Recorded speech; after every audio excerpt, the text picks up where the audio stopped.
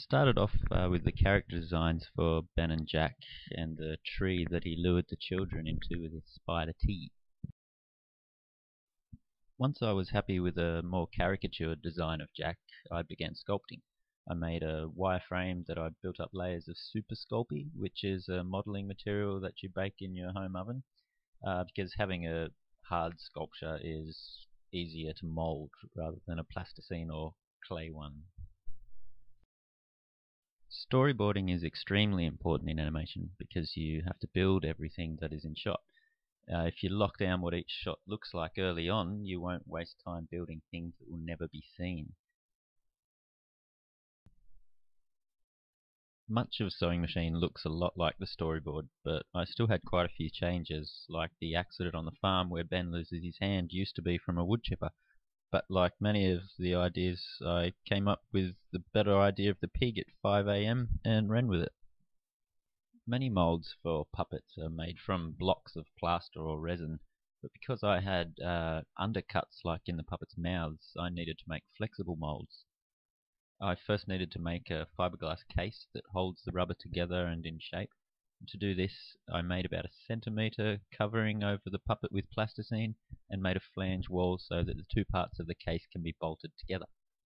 Then I fiberglassed over the plasticine, making the reverse shape. Then you cover the other side of the puppet and apply a release agent to the fiberglass wall to stop the next layer of fiberglass from bonding to it. Then you'll have two halves of a case. Next you need to fill around the character creating the void where the first half of the silicon rubber is poured into. Once the rubber is set, you remove the plasticine, apply a release agent like Vaseline to the silicon, assemble the pieces again, and pour the other half of the silicon.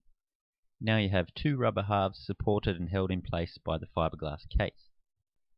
The skeleton of the puppets is called an armature, and I couldn't afford professional ball and socket armatures, so I made twisted wire ones that were glued into balsa wood blocks. It's important that you have an accurate set of scales to measure out all the ingredients of the silicon. For some of the puppets I painted catalyzed and pigmented silicon into the mold before casting, others I painted afterwards. You then position the armature so that the wire jaw, eyebrows and limbs sit nicely where they should.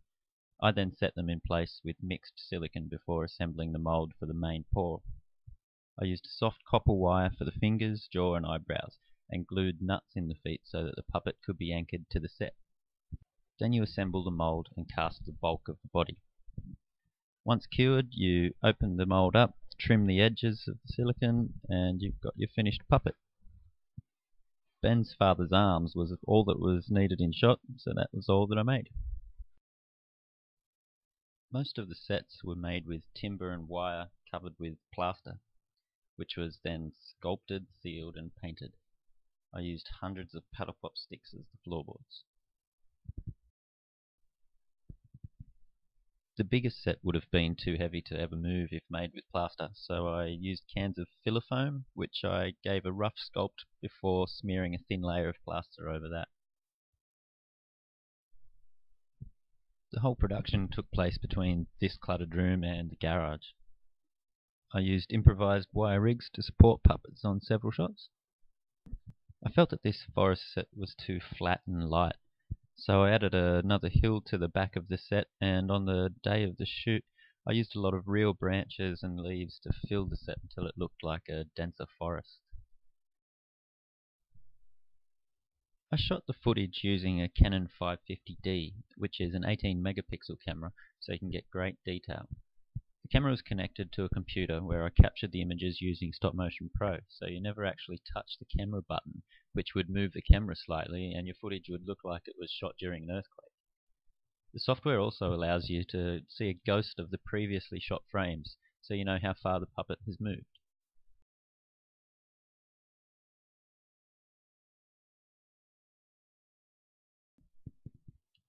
I shot Sewing Machine on ones, which means a movement for every frame shot. A lot of animation is shot on twos or 12 frames per second, where you take two pictures for every time you move the puppet. You can even shoot on threes or fours, but the more frames per second, the smoother the movement. For this shot of Jack dancing, I copied the video footage of Steve Poltz dancing as he performs the song live, and it turned out to be some of the best animation of the whole video.